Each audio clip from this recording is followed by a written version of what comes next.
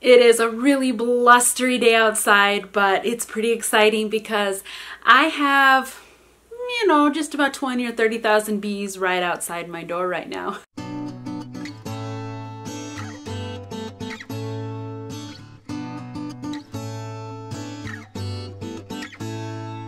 Follow me as we head on out to install the bee package with the no shake method. It is a great way, it's a non-stressful, non-killing way of in introducing a, a package of bees into a hive.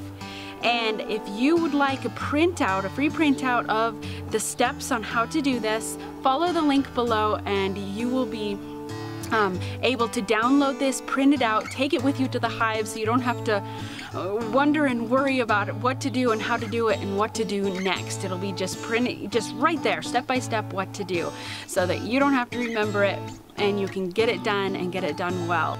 So I have a queen what came what the queen came in when one of the last packages I got so inside um, this little package here, there was a queen walking around. And on this end, there's a hole, and there is usually, a, there's a cork in there that's holding the queen inside there.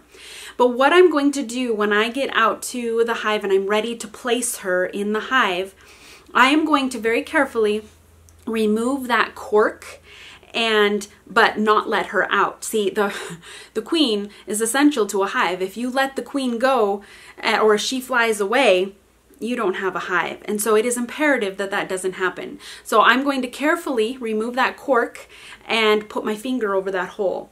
Right here I have a bloop, a blob of uh, I got it just from the from some of the frames, my older frames from a previous year. I just got some, it's like goops of honey and wax that I kind of goop together into a ball.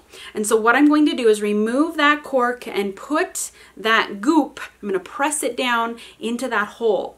And what will happen is the bees, the worker bees will slowly, and, and the queen will slowly eat through this and they will slowly release her. So it won't be an immediate thing. They're still getting used to their new queen. This will allow them time to get used to her pheromones and get used to just her as, as their queen bee. And, and as they slowly release her, they will say, oh, she's, she's our lady. We're gonna keep her. Let's get to work and take care of her and all of her little baby bees. Okay, I'm sitting here by my hive. Out and place it where it needs to in just a bit, but I wanted to explain and visually show you how I have this place. So I have five frames in here. This is where the box of bees will go when, when it's all out there. So this frame here has a lot of oh it does have some honey in it but it has a lot of open area for her to lay her brood and to lay the eggs so on this side there's um, most of it is open for that uh, this second, and I put this in the middle. This second frame here is the same. Um, it's pretty heavy. This is pretty heavy, honey. But again, it's it's open here, and on this side, it is open again for brood. And then this here um, has some some open frames. It also has some, you can tell that there's some honey in this that, that wasn't capped. They hadn't gotten to that process. Um, and again, I, I also don't forget that you'll want to sprinkle all of these with some some sugar water uh, before you go out there. That'll give them, again, some So here, some area for her to to lay some eggs as well. And this one, oh my, it is so heavy. It is a full frame of, of honey here. And that will be really good for them and get them started with some food as well. Because like I said, we are just starting spring and it's still pretty cold. So there is no um, flowers blooming. Trees don't even have leaves started yet hardly. So this will really help them um, this spring as they get started.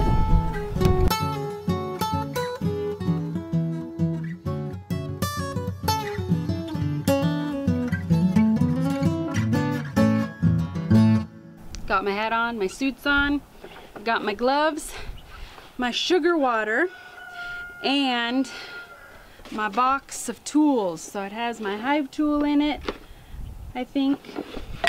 it should have my hive tool in it, I'll make sure. But make sure that just when you go out there that you're prepared, that you have everything that you need ready to go right there with you. That'll make it very much easier and better that you have everything right there. So you can use something like this, works great. Okay, found my hive tool, very important. Oh, and I didn't also mention, I'm gonna bring out a little block of wood because when I pry up the, the little can that's in there that was feeding them, um, when I pry that up, I'm going to place this over that until I'm a little more situated. And so they're not all just flying around like crazy. Some will get out, but that's okay. But this will keep the majority in um, until I'm really ready for them to get out. So I will put this in my box as well.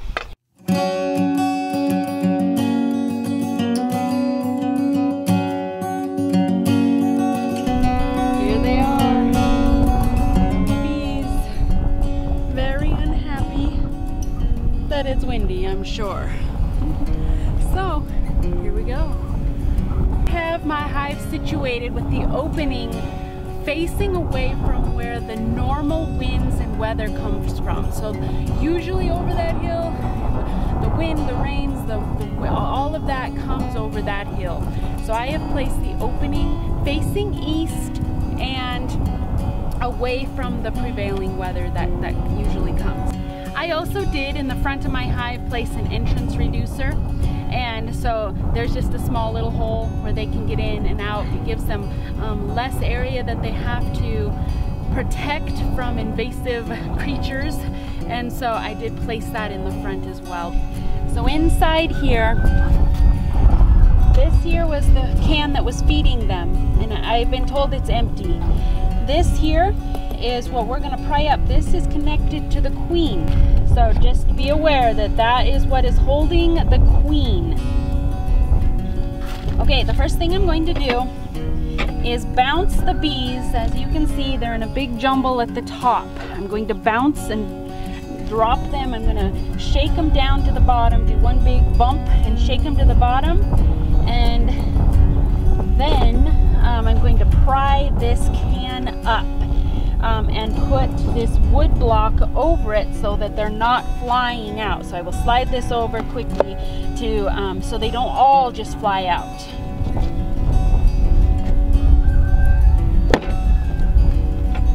So they all bounce to the bottom. Pry this up. It is empty. They're probably pretty hungry. And some will fly out. It's pretty sticky.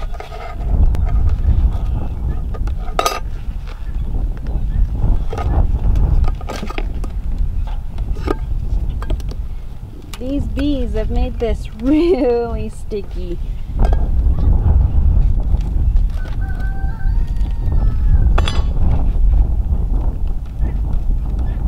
Oh. That's tough. Okay, I'm to do more and more bounce down. Almost out. Okay, now I'm gonna cover. Come on.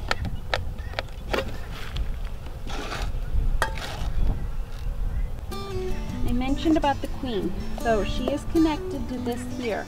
This has a long metal piece that I'm going to straighten up.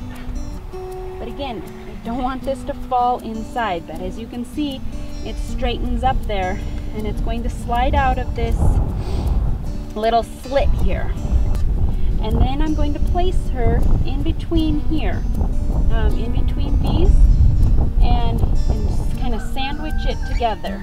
You can feel it moving inside here. All right,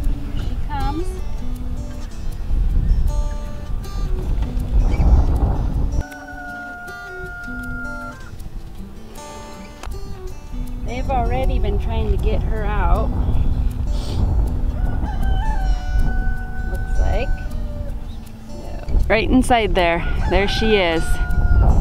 And you can see the cork there. It is kind of skewered a bit. I am, I pushed, the cork ended up inside.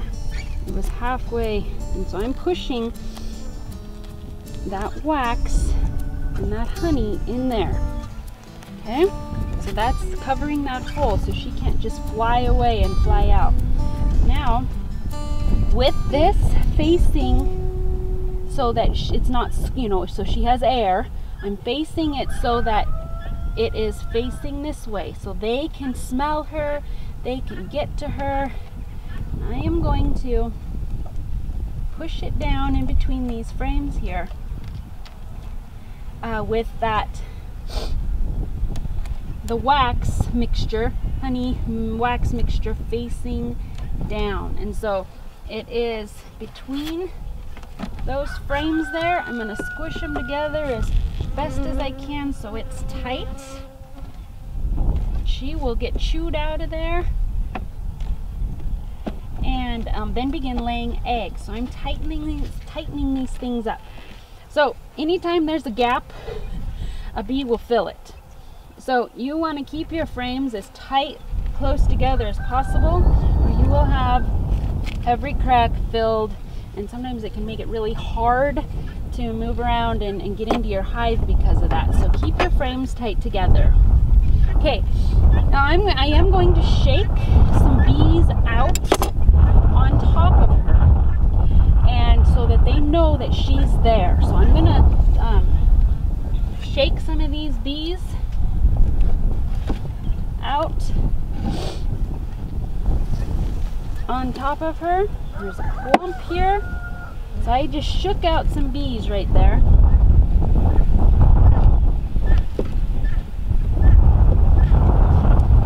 And I'm gonna shake a bit more out so that they know to get in the hive here. They know that that's where the hive is. And there's a big clump of them here. They're all hooked together.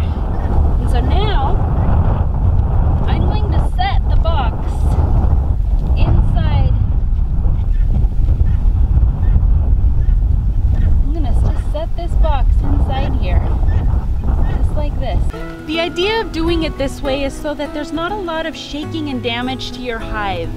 And they will, they, they know that she's there and they will all just naturally come out of there.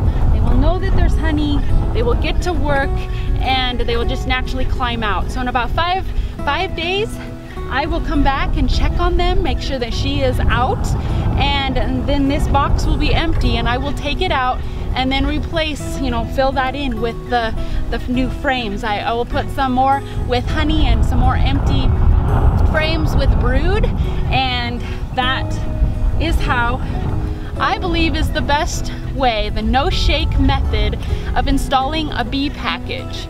It's very easy, it's very effective, and you have a strong hive once they are placed in here. So they will, uh, this honey frame will feed them. They've got a frame in here that has some pollen in it and they've got empty um, comb that they can, that she can begin to lay her eggs and begin the brood um, and the process of starting to get this hive with lots of numbers and lots of bees and, and to get it to a strong hive. Also, I have some sugar water here, not vinegar, it's just sugar water. And I'm just gonna also um, sprinkle on them. That, that just will give them, they will clean it off themselves.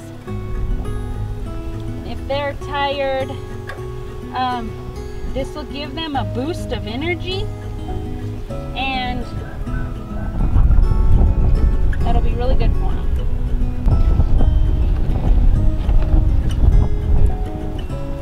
I'll get these ladies covered up so that they